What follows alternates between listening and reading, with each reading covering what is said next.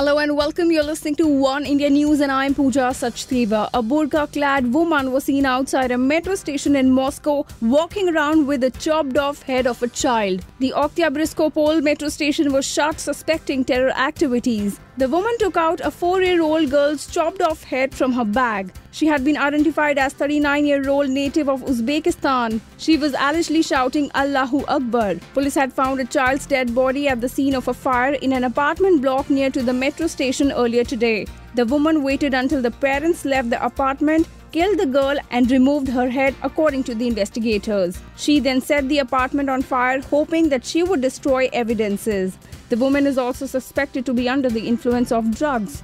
That's all for now, but don't forget to click that button for more such updates. You were listening to Oneindia podcast. Take care.